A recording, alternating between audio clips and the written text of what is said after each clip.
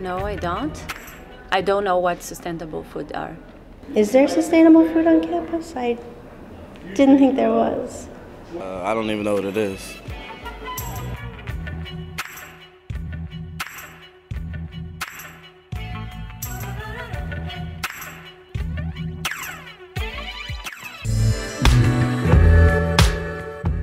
uh, producing food uh, in a manner that is uh, economic, that is mindful of the environment in uh, not just the short term but in the long term, and um, and makes uh, best use of of our resources. Um, you know, those are a few of the things that I would I would associate with sustainable agriculture. Well, I think it's it's important in the long term for our survival. Um, uh, you know, we need to manage those resources, which ultimately are are limited. Um, we need to manage those in a in an intelligent manner.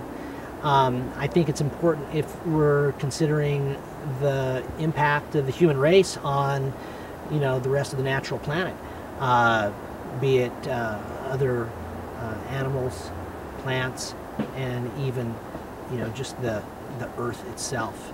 Our field, the environmental uh, horticulture field, is uh, is uh, much more involved now with food uh, and food issues because of the uh, the desire to bring food production closer to home, make it more local, and thus uh, more sustainable.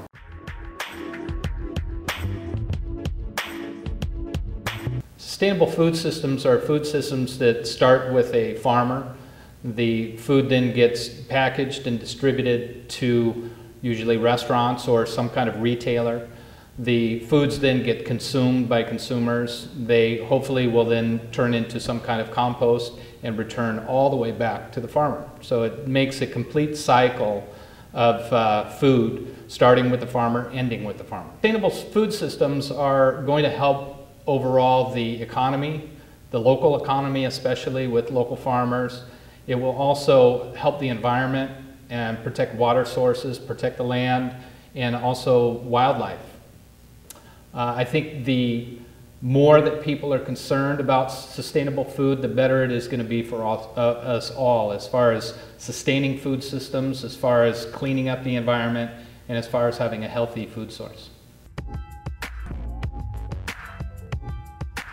every link process of producing and distributing food and doing it in an environmentally sound and safe way uh, and providing uh, access to it for, for everyone. So creating healthy options um, not only for the consumers but also for people who uh, produce the food and distribute it.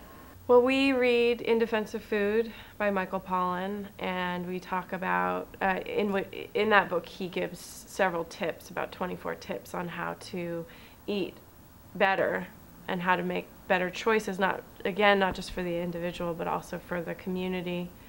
So we talk about whether or not those tips are practical, and it really allows students to connect their personal lives to these tips and these um, pieces of advice many students don't think they're practical because um, they don't know that they have access uh, and that it's within their reach.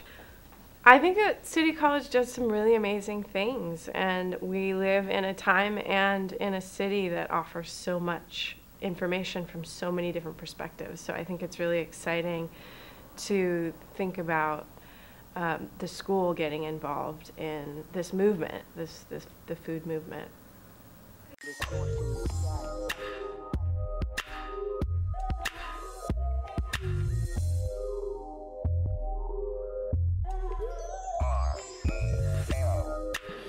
Poster, like small posters or something, just to educate people a little bit.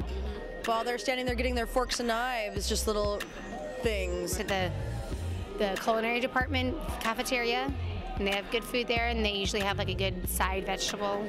Sustainable foods are the future of the earth, you know.